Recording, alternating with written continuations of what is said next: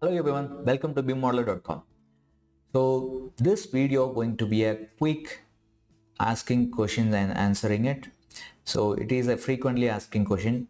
If you don't have a properties windows and project browse windows in Revit, you will be able to take it out.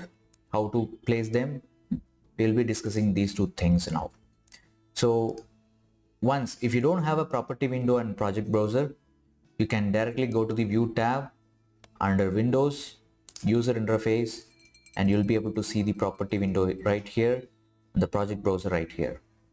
For project browser it is bb for the property window it is pp click properties and project browser. As simple it is. For this is going to be a problem for beginner so beginner will not be able to understand where it is coming from so the second thing is that the beginner, they will not be able to understand how to place these windows. So if you have a windows, they, they tend to take this window out and they will be placing it right in the middle of the drawings. So if you see that the drawing window will be hiding some of our elements, so usually they will pan it around and they will not be able to manage and see the drawings properly. To hang this window, you have to take this window and place it right to the edge of the screen like this. So you'll be able to hang it.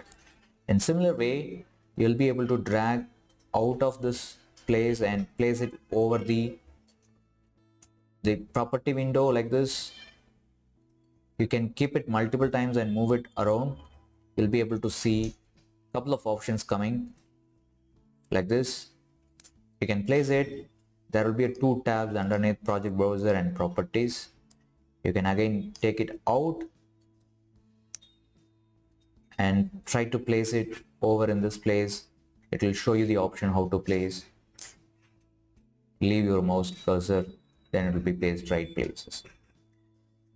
So this is how you will be able to make visible your missing property window and project browser and then you will be able to align in your working space as you need it.